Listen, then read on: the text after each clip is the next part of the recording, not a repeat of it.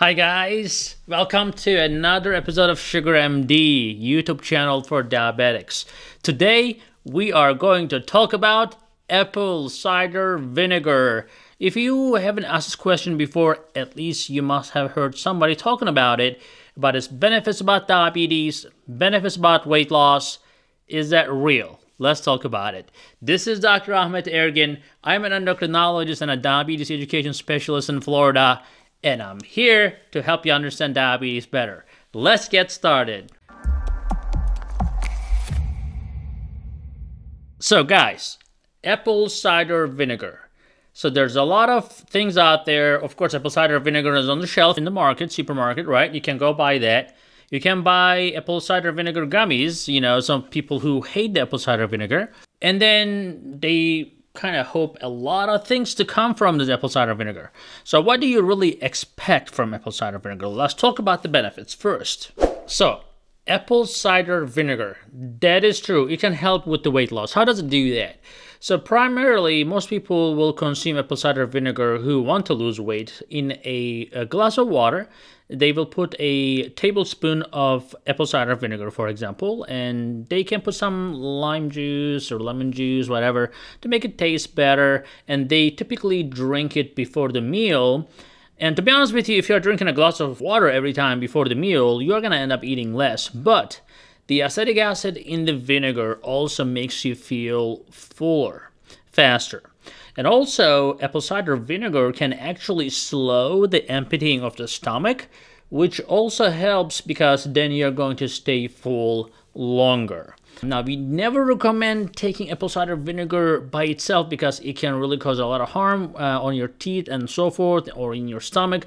We'll talk about it in a minute. But if you're having apple cider vinegar, either having a glass of water before the meals or uh, have it in your salad. I love apple cider vinegar and lemon as a dressing on my salad, and I believe that is the best way to do it. I'm not a big fan of making drinks that doesn't taste very good.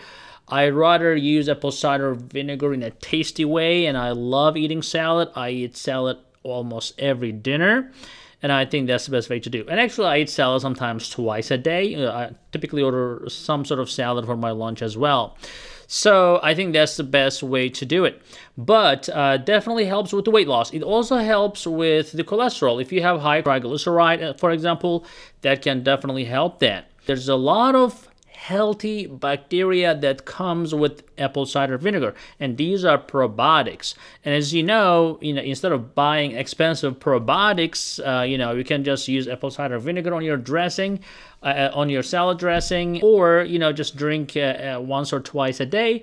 That can also help greatly. Now does it really help with diabetes? Well, the studies show that there are benefits, but it's very mild modest, whatever you call it, um, maybe 5% change in your fasting blood sugars and so forth. I mean, it may not be necessarily the greatest anti diabetic help out there, but given that there are so many other benefits, you know, the heart benefits, cholesterol benefits, the probiotic benefits, and actually, I forgot to mention there is antibacterial and antiviral benefits. So it boosts your immune system, so it helps fight infections as well.